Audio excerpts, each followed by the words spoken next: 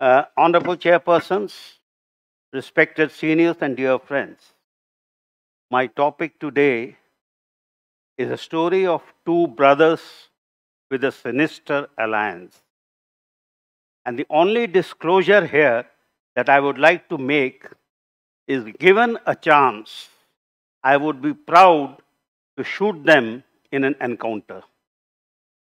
Because they are not only brothers in arms, but they are also partners in crime.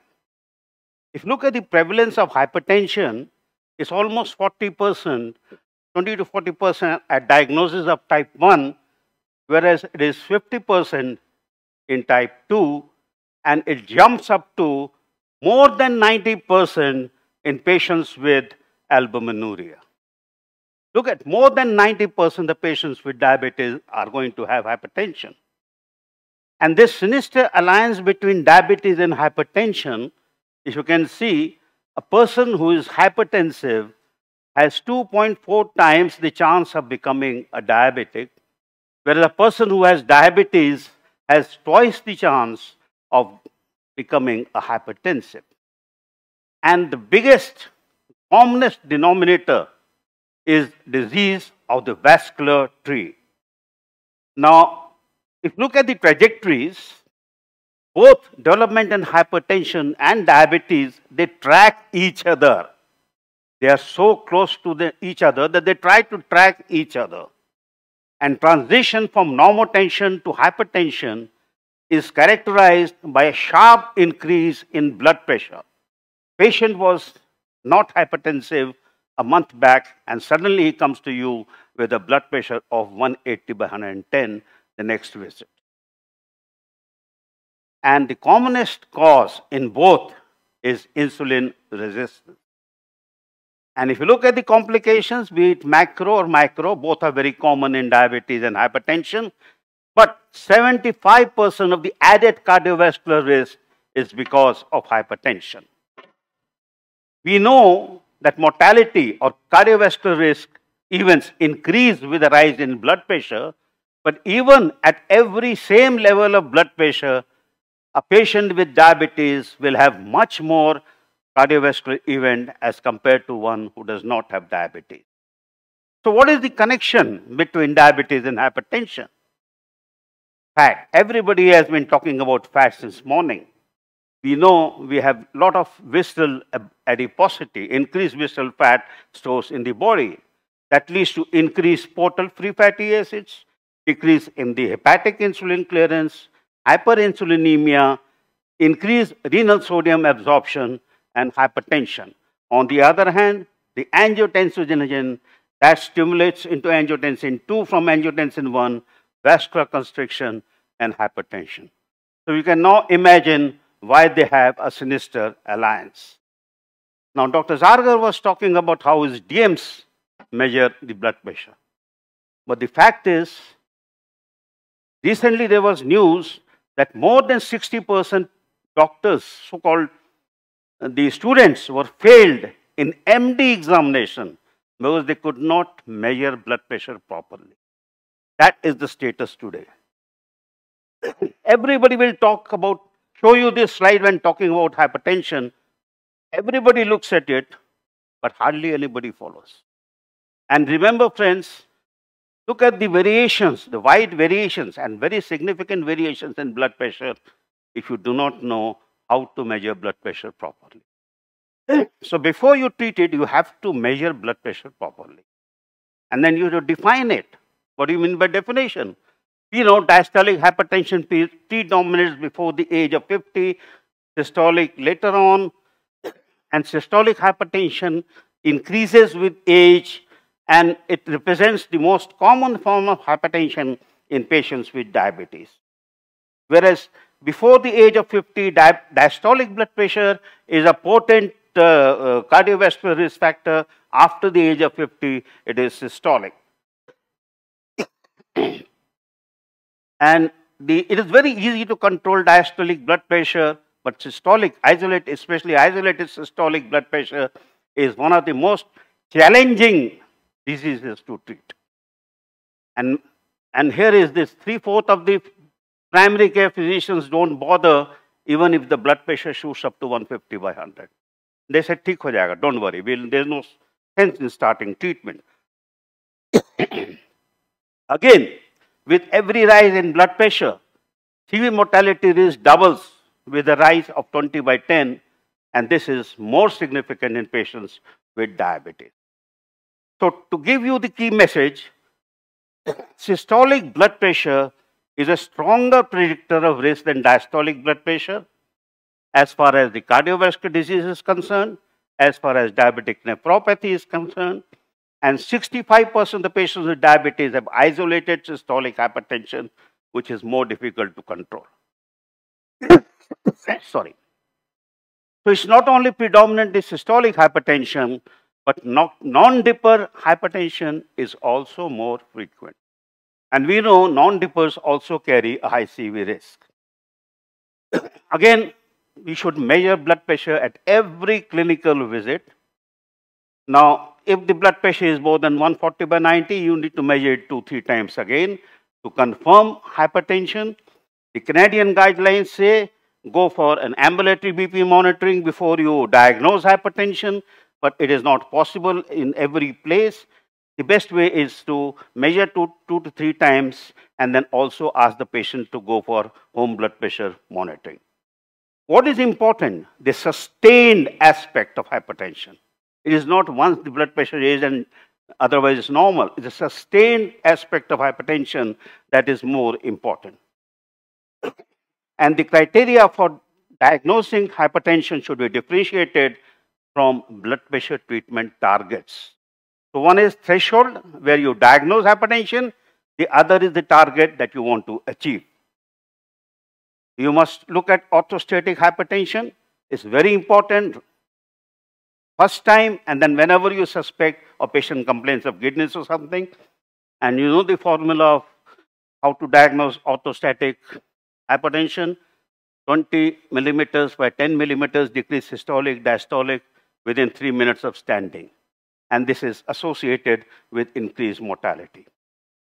Monitoring, it is very important to teach the patient how to go for home blood pressure monitoring.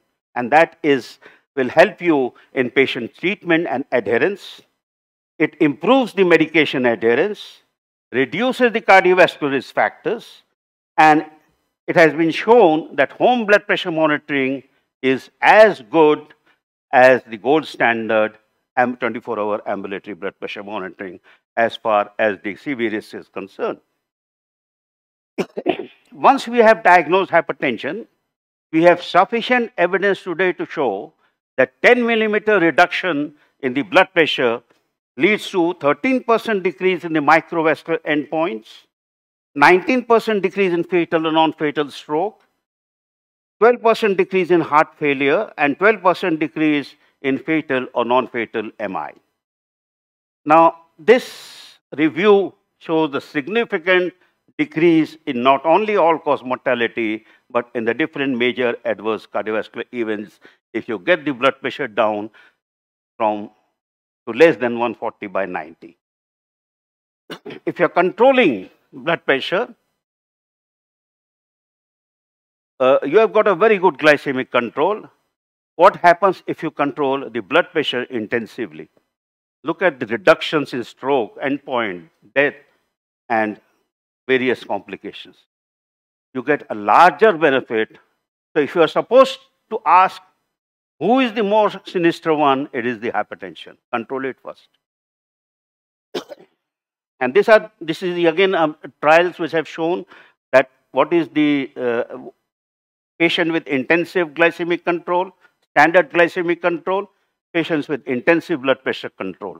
And the message, key message is that CV event risk in patients receiving standard glycemic control was significantly lower in the intensive group versus standard blood pressure group, but there was no difference in the intensive glycemic control group. So it becomes more important to control blood pressure. If you reduce the A1C by 0.9%, you reduce the events by about 3 to 4. If you reduce LDL by 1 millimole per liter, you reduce the events by almost 8, 8 to 9%.